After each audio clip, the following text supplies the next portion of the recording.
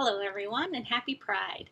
I know we're a little late into the month, but I really wanted to do a video to share with you some different YA titles that feature LGBT plus uh, heroes written by LGBT plus authors. So I picked out a few titles that I think you'll really enjoy. All these books can either be found through our physical library, which you can look at through our website, or on Overdrive and Libby.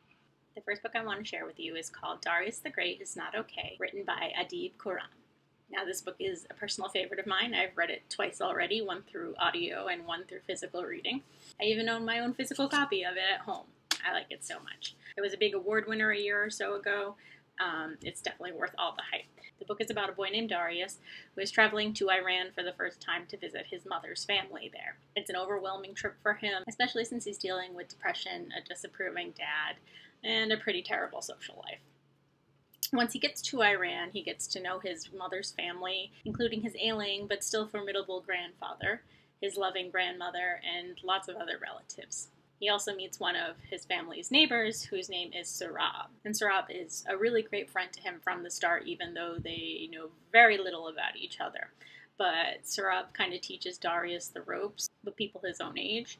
From the start, Sohrab is a really good friend to Darius. He brings him to play soccer with his friends, um, and make sure that they all speak English around him since he does not know how to speak the language there.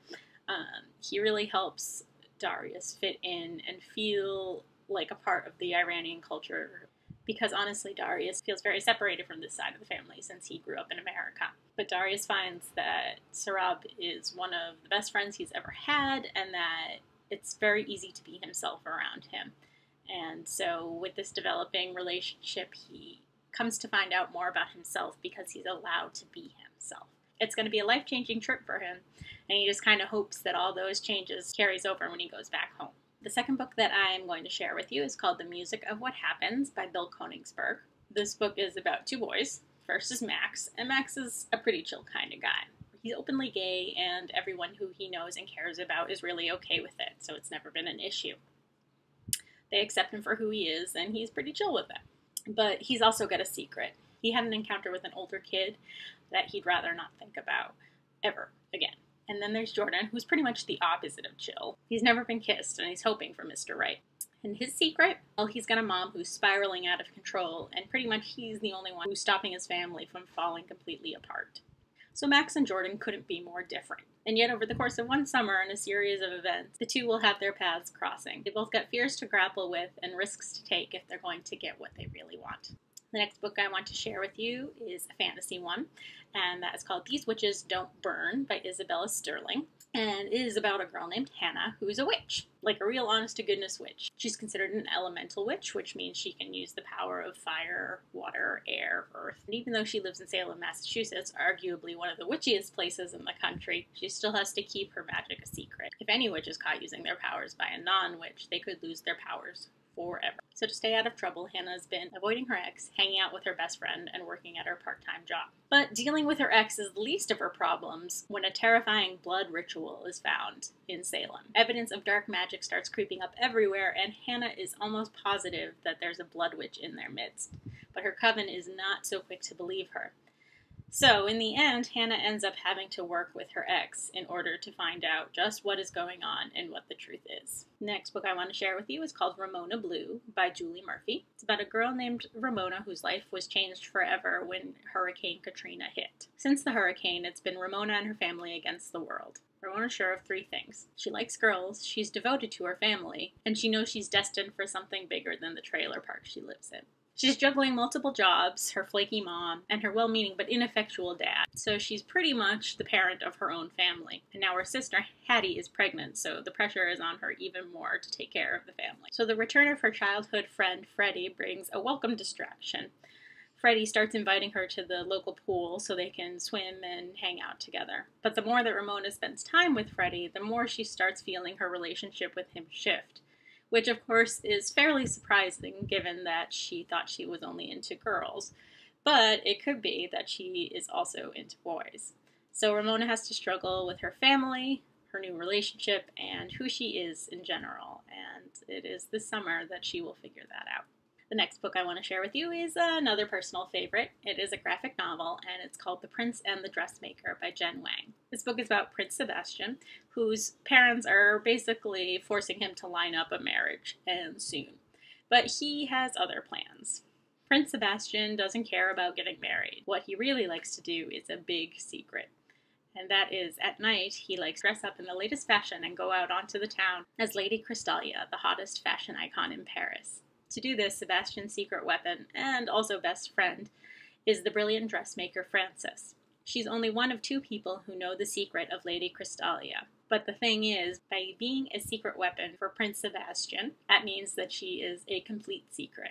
Frances has dreams of having her fashion worn all across the world, but because of the secret she keeps with Sebastian, she isn't able to share her fashion with anyone. How long will she be able to hold back her dreams in order to keep Sebastian's secret? The next book I want to share with you is called Ash by Malinda Lo.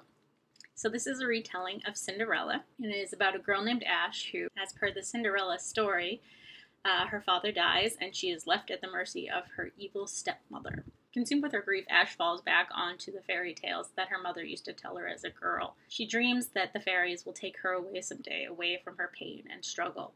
Eventually, she does capture the attention of a dark and dangerous fairy, and Ash thinks that her dreams might finally be coming true.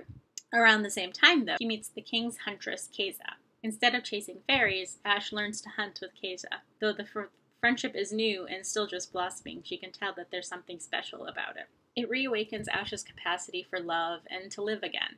But the fairies have already laid claim to Ash, and so she must struggle to make the choice between her fairy tale dreams and the life that could be laid out in front of her with Kaisa. The next book is another graphic novel, and that is called Bloom, written by Kevin Panetta and illustrated by Savanna Ganucheau. Ari is done with high school, and all he wants to do is to move away to the big city with his band. But his dad would rather have him stay at home and help with the struggling family bakery. Though he loved working in the bakery as a kid, Ari cannot fathom a life working with loaves of bread in hot ovens all day. But while he is interviewing candidates for his replacement, he meets Hector, an easygoing guy who loves to bake almost as much as Ari doesn't. As they become closer over batches of bread, love is ready to bloom. That is, if Ari doesn't ruin everything first. And the last book I'd like to share with you is called Little and Lion by Brandy Colbert. This story is about Suzette, who comes home to Los Angeles from her boarding school in New England. When she comes home, she's not sure if she'll ever go back. LA is where her friends and family are, including her crush Emile. And her stepbrother Lionel is there, and he's been diagnosed with bipolar disorder, so he needs her more than ever. But as she settles into her new life, Suzette finds herself falling for someone new, Unfortunately, it's the same girl that her brother has fallen in love with. When Lionel's disorder spirals out of control, Suzette is forced to confront her past mistakes and find a way to help her brother before he hurts himself, or worse. So those are some great titles to read for Pride Month. We have lots of other LGBT plus titles to look at, both in Overdrive and through the library website. So I hope you find a book either on this list or in your search that you can enjoy and love this Pride Month. Take care. Bye.